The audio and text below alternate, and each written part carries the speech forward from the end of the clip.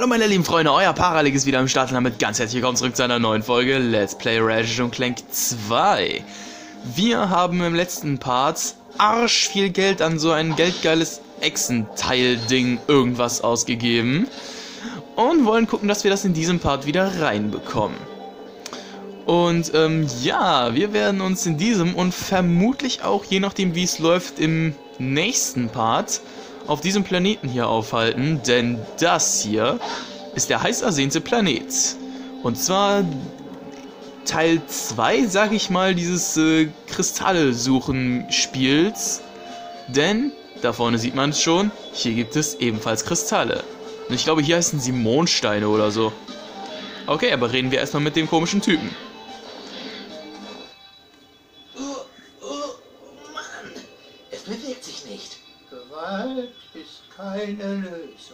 Können Sie den Fels bewegen, Sir? Das kann ich. Und etwas Geduld. Der Fels bewegt sich erst, wenn die Kräfte des Universums im Einklang sind. Okay, könnten wir diese Kräfte etwas schneller in Einklang bringen? Ah, ja. Die holistische Resonanz von Mondsteinen kann möglicherweise die Kräfte lenken. Alles klar. Gut, ja, wir müssen auf jeden Fall jetzt äh, diese Mondsteine finden und ich meine, es gibt 101? War das so? Ich meine schon. Ich meine, es gibt 101. Alles klar, dann müssen wir uns mal vorbereiten. Ich würde sagen, wir nehmen die Plasmaspule. Und dann wollen wir mal. Denn hier sind überall diese Viecher, die nicht gerade wenig Schaden machen. Und diese Viecher hier sind auch ganz schön nervig, weil erstens halten sie unglaublich viel aus. Und zweitens sind sie nervig. So, aber sie droppen wenigstens einen Kristall. Sind also theoretisch sowas wie diese großen Viecher aus äh, der Wüste.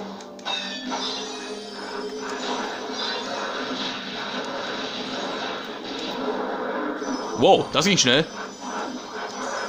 Verdammt nochmal, ey. Ihr geht mir mächtig auf die Nerven. Aber ich habe auch nichts, womit ich äh, die besser loswerden kann. Allerdings geben die unglaublich viel Erfahrung. Und das ist nice. So. Ein gewisser Trick an diesem Planeten ist auch, dass man, vor allem wenn man später im oberen Bereich ist, also wir können hier noch nicht alles erkunden, wenn man später im oberen Bereich ist, äh, dann kann man ziemlich leicht sehr viele Kristalle bekommen, indem man einfach die ganze Zeit äh, an dem, am Rand der Map entlang, oh nein, indem man die ganze Zeit am Rand der Map entlang läuft. Und da die ganze Zeit Kristalle zerstört, weil ziemlich viele aus irgendeinem Grund am Rand platziert wurden. Ich meine, gut, habe ich nichts gegen, muss ich weniger suchen. Aber, ja, wir müssen trotzdem etwas suchen, weil es ist relativ schwer, sie alle zu finden. Allerdings bin ich mir ziemlich sicher, es müsste eigentlich so sein, dass man äh, mit dem Kartomat alles sehen kann. Darf ich dann jetzt auch mal angreifen, bitte?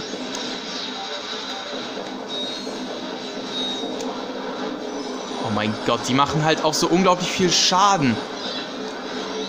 So, weg mit euch allen. Und wir werden sehr oft zurücklaufen müssen und Munition holen. Sehr, sehr oft. Ach komm schon. Die machen halt auch so ein ganzes Vierer-Ding Schaden. Das ist echt nicht geil. So, 16 brauchen wir, glaube ich. Bin mir gerade nicht sicher. Aber 16 sollten es sein. So, der eine Mondstein sollte noch kommen. Ich höre ihn. Da kommt er. So, erstmal voll kaufen. Und ja, dazu fehlt uns noch ein bisschen. Aber sobald wir hier durchgehen, sobald wir, der alles von äh, uns hat, was er will, dann können wir hier weiter Kristalle suchen und dann kriegen wir wieder Geld. Und dann werden wir reich. Also ja. So, Moment. Hier.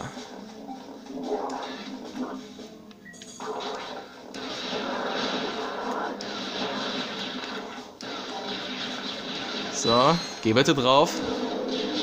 Danke. So, 13. Hier unten sollte es eigentlich 16 geben, meine ich. Oder täusche ich mich da gerade? Wow. Das ist einfach ein One-Hit-Kill. Alles klar. Das wusste ich auch noch nicht.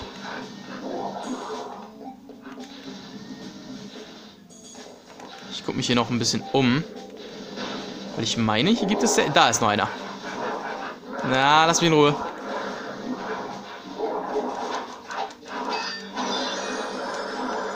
So. Gott, hier sind so viele von denen. Oder gibt es hier doch nur 14? Na egal, wir haben eh schon genug, also gehen wir mal zu dem Typen zurück. Ich glaube, wir brauchen 12 oder so, um den Felsen zu bewegen. Also komm her, Bruder. Ne, 9. Ankunft der Mondsteine ist gut, denn in eben diesem Moment kann ich den Fels bewegen. Mann, was für ein Zufall. Danke, Sir. Das war sehr hilfreich. Deine Dankbarkeit rührt mich, Junge. Ich habe auch ein Teil von einem sogenannten Hypnomatik. Bringt mir mehr Mondsteine, dann könnt ihr es haben. Moment. Ich dachte, du hättest kein Verlangen nach Besitztümern. Bitte, belastet mich jetzt nicht mit euren Bürden. Ich bin müde vom Heben des Felsens und muss. Oh. Ja, ein äußerst fragwürdiger Charakter, aber gut. Wir müssen sowieso erstmal hier durch, weil ansonsten können wir eh nicht weitermachen. Gut, also Gleiter einsetzen. So, hier müssen wir jetzt ein wenig aufpassen, weil ich hier durchaus schon das ein oder andere Mal gefailt habe. Auch wenn ich das Spiel sehr oft gespielt habe, kann ich immer noch nicht wirklich hundertprozentig mit dem Gleiter umgehen.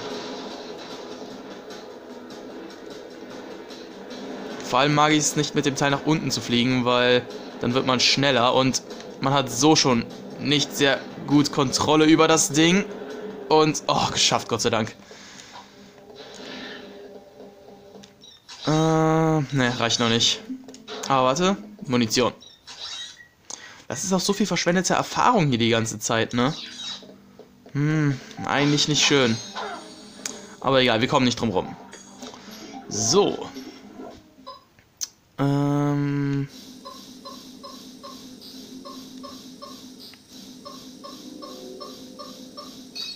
das war einfach.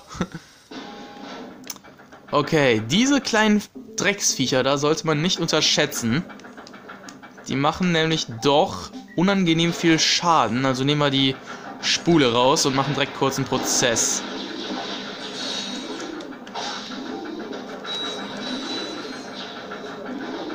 So, die überleben nämlich nicht lange. Gott sei Dank.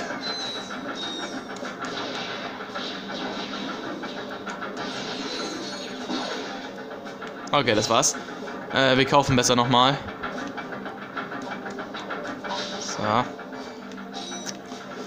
Denn hier kommen noch einige von denen. Hm, hier. So.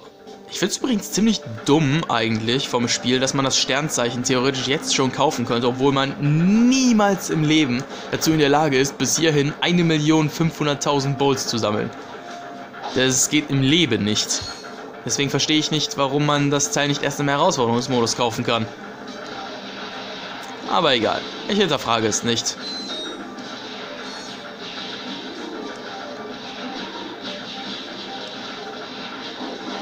Was das jetzt? Danke. So. Aber wir kriegen auch fast immer über 2000 Bowls aus den Kisten. Also 1000er scheint immer rauszufliegen.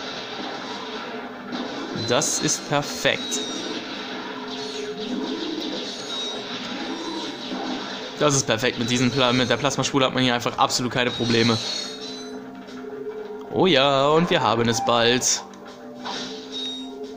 So, nun kommt auch eine Sache, die mich ein kleines bisschen nervt, weil es auch unmöglich ist, bis zum jetzigen Zeitpunkt des Spiels das zu besitzen. Und zwar ist hier schon wieder ein Rüstungsautomat und ihr werdet euch denken, was das heißt. Neue Rüstung. Die Carbonox-Rüstung. Oder Panzerung. Ja, eine Million Bolts. Das ist nicht möglich bis hierhin. Deswegen... Ach egal. Ich hinterfrage das Spiel einfach nicht. So, jetzt müssen wir das hier hacken und dann kommen wir in den oberen Bereich der Wüste, also der Eiswüste. Komm schon. Geht doch. Da sieht man's. Da ist jetzt irgendwie Wasser oder sowas rausgekommen. Das ist gefroren. Und jetzt kommen wir auf den oberen Teil. Und da gibt es einen ganzen Haufen von diesen Kristallen. So, warte, bin ich voll? Ich bin voll, ja. Also, Vollgas voraus. Wir kümmern uns erstmal nicht um die Gegner, sondern sehen erstmal zu, dass wir so gut wie möglich so viele Kristalle wie möglich bekommen. Na, hier ist schon einer davon.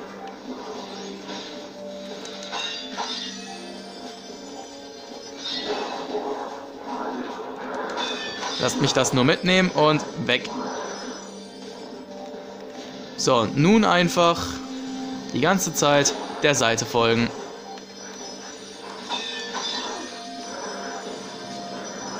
Da ist auch noch einer. Auch noch einer.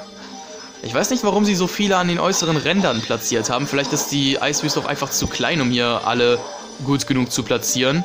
Kann auch sein. Weil groß ist das Gebiet hier nicht. Aber trotzdem.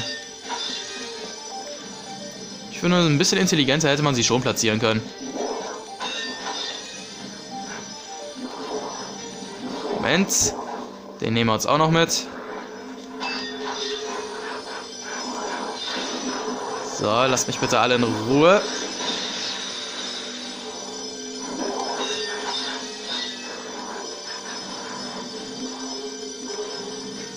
Da unten. Oh Gott, ey, die schießen so weit.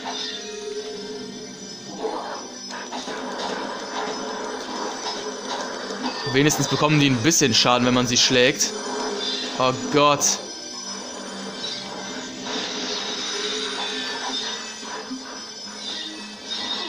Das ist halt auch der Nachteil, wenn man einfach durchrennt.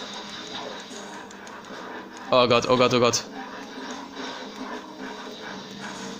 Man bekommt nämlich sehr viel ab.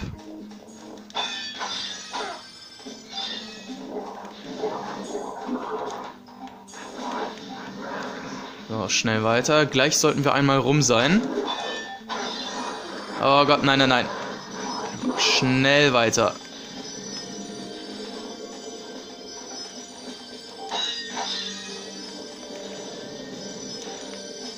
So.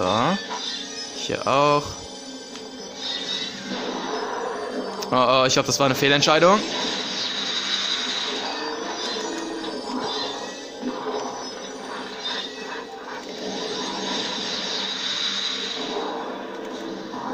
Gott. Hier sind so viele von denen. Okay, Moment mal. Wir sollten uns jetzt doch mal dazu entscheiden, ein bisschen anzugreifen.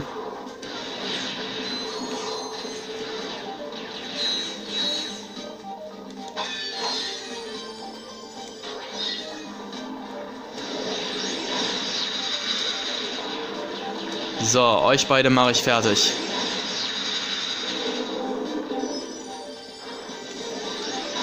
Und du da hinten könntest jetzt auch mal drauf gehen. Komm schon.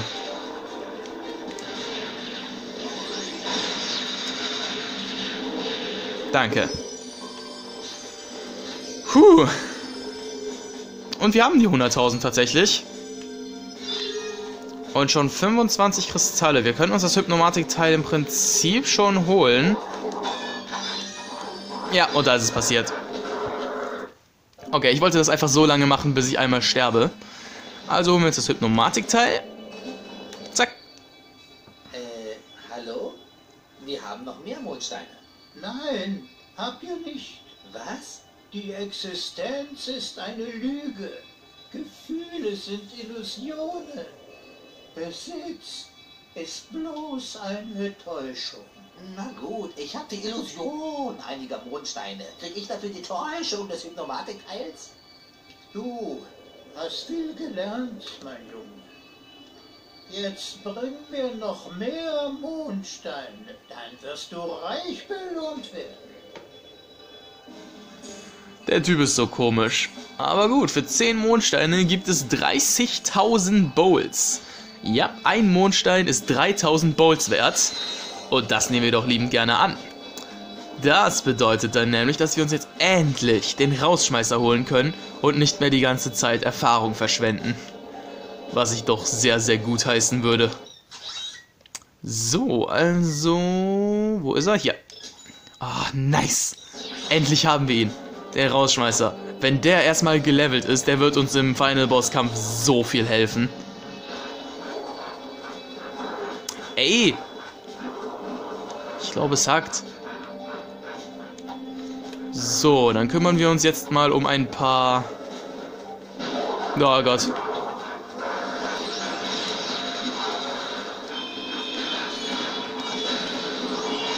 Vor allem das Ding macht auch so unglaublich viel Schaden.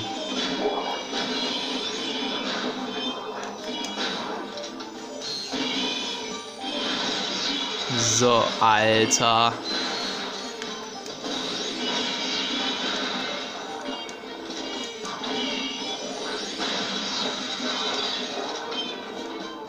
Komm schon.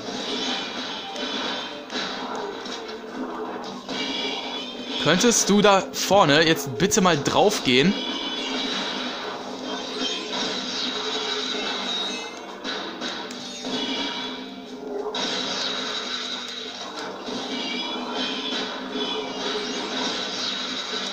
Er will einfach nicht draufgehen. Na endlich, meine Fresse, ey. Ich glaube, für die Großen bleiben wir dann doch lieber mal bei der Plasmaspule, die ich nicht voll gekauft habe. Machen wir das mal schnell. Na, der Part ist eh fast vorbei. Aber egal, ein klein wenig machen wir noch. Also gut, so. Das ist voll, das voll kaufen und das voll kaufen. Mm. Ja. Als nächstes müssen wir für den Schildlader sparen. Okay. Also ich würde sagen, wir gehen einfach mal irgendwo mitten rein. Am besten hier. Und gucken, dass wir noch einige Mondsteine an Land kriegen.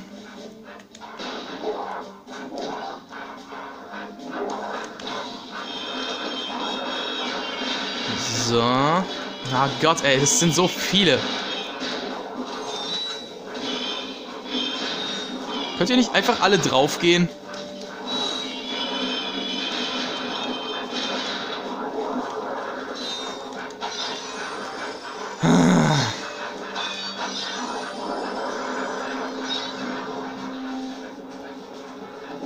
Na, aber ja klar, jetzt tauchen auch wieder welche auf.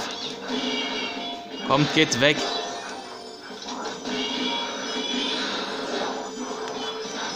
Finde es ja schön, dass ihr mir hier die ganze Zeit Erfahrung geben wollt, aber nach einer Zeit wird es doch ein wenig nervig.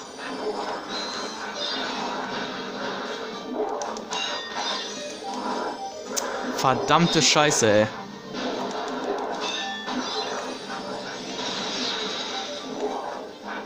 Okay. Gucken wir jetzt mal in der Mitte. Oh Gott. Kamera, würdest du dich bitte... Warum dreht sich die Kamera nicht? Meine Fresse. Okay, Moment.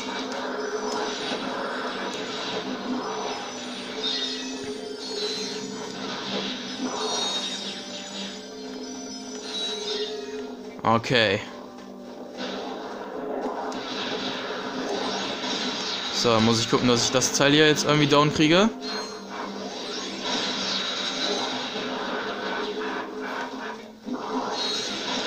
Komm schon, stirb jetzt.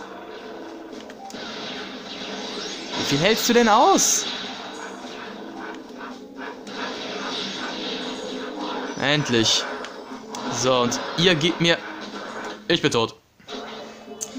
Gut, äh, ja, dann äh, würde ich sagen, was das an der Stelle für den Part. Also Daumen hoch, was euch gefallen hat, abonnieren, wenn ihr euch unterstützen wollt, Kommentare sind immer gerne gesehen und ciao, Leute!